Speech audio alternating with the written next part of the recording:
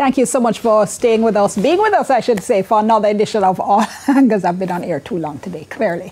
Another edition of All Angles. I'm Dionne Jackson, and joining me in studio today, we have Finance Minister Dr. Nigel Clarke to talk about holy things. Dr. Clarke, thank you so much for coming in. Thanks for having me. No, it's just last night, in fact, that the Bank of Jamaica sent out what they call the automatic banking machine service standards for deposit taking institutions. In other words, standards that should govern how the, the banks and the other deposit taking institutions handle their ABMs or ATMs and how customers benefit from that. Now, I was just listening back to an interview we did in January on radio on Beyond the Headlines. It. I remember it. I have the date, January 19th. January 19th. And on that day, you had said it was just, just for my viewers, it was the culmination of a series of interviews we had done talking to Jamaicans across the island about the terrible experiences they were having trying to get money from ATMs, ATMs not working, take note of some areas, not having cash, all kinds of problems that people had been com- complaining about, as I've said, for several years, but that got ve- very much worse last year. You had said four things would be, would be done. One, you had raised the concern about the fees that banks paid each other to access ATMs mm-hmm. and said those fees were so low, there was no incentive to put in additional machines and that those would have to be raised, but those would have to be dealt with by the, the banks themselves.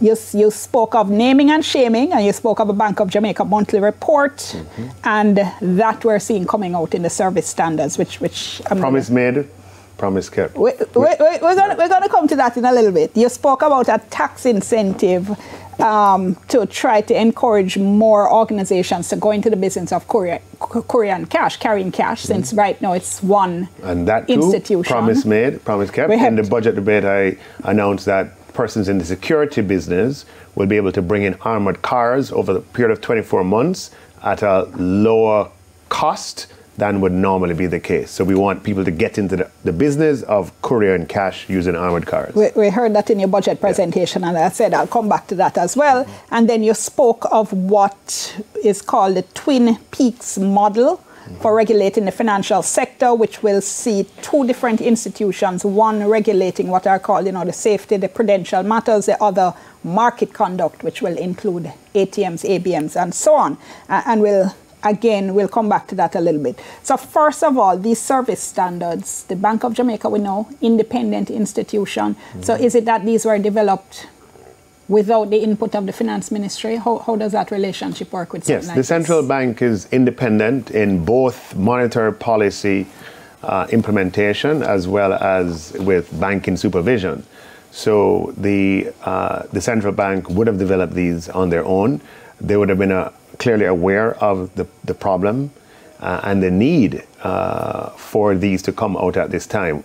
You know, as I, I, think I might have said on your program, what gets measured gets done. And the idea behind these service standards is we're going to inform the public what the minimum standards are, and then we're going to measure them on a m- monthly basis. Not we, the central bank is going to measure them and publish how each banking institution is performing with respect to its the guidelines on ABMs? All right, so I have to tell you, because I did speak to the governor and one of the deputy governors on radio extensively this afternoon, and the public is, many members of the public are less than impressed with these service standards because of this. No monetary sanctions will be applied as a result of breaches of the guidelines. And the officials of the BOJ explained that that is because they have no legislative authority Correct. to do so. Correct. And a lot of my listeners on radio, and no doubt viewers now, mm-hmm. are saying, all right, this is a waste of time.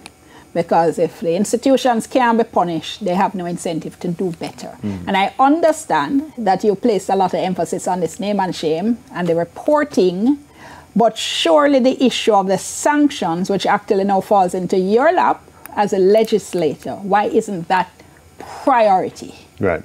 So um, the legislation to empower uh, a regulator to enforce market conduct uh, standards is legislation we're working on now to come forward in the Twin Peaks model. You read that as the fourth sort of bullet.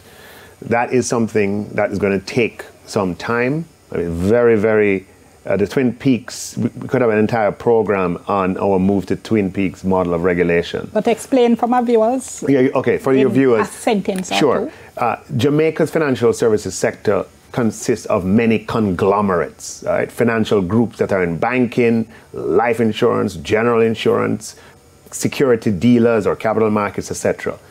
And we, in Jamaica, 90% of financial assets are in these financial conglomerates. Now, what we have as a regulatory setup is that one regulator does banks, the other regulator does insurance companies and security dealers. But if your landscape is such that all your financial houses are commingled, then something can be left in the cracks if we have our regulator regulatory structure that does not mirror the structure of the financial sector industry. So what- what's been left in the cracks is us and our cash and the ABMs. well, what no, what gets left in the crack in the cracks potentially is the opportunity for arbitrage between different types of businesses. So we are having on the prudential side, uh, they will regulate not just banks, but banks, uh, pension, insurance, security dealers, and then we'll have another regulator that is squarely focused on market conduct and on consumer protection. Hold and that that is something that we don't have right now. Hold that thought for me, Mr. Minister. Let's go to the break. We'll come back in a little while. We'll pick up on this issue. And I know you have lots of concerns and questions about this as well. Remember, our hashtag is TVJ. All angles will soon come.